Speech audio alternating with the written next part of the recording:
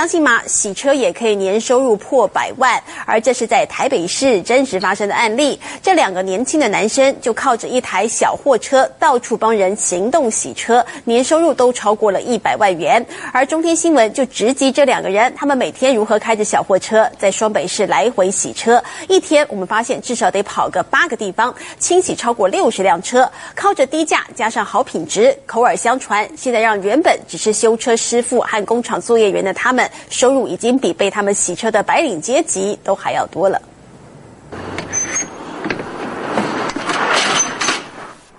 拉开车斗，准备上工。两个年轻人先整理身材工具，仔细看，这不过是台小货车，但可别小看它，这辆小发财可以为两个人带来百万年收。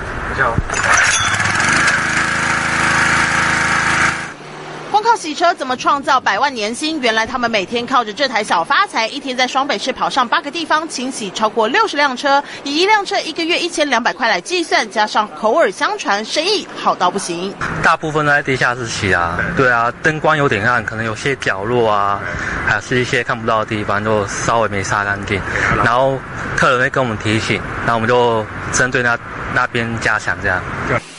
是许文坚，才二十五岁，刚出社会的时候不过是个工厂作业员，月里二十二 K。但在朋友的号召之下，成立行动洗车，专门锁定内湖软体园区以及新北市各个商办大楼。修车，他通常就是回到家就是黑黑的、脏脏，可是洗车不一样，越洗越干净。对对对对，就是。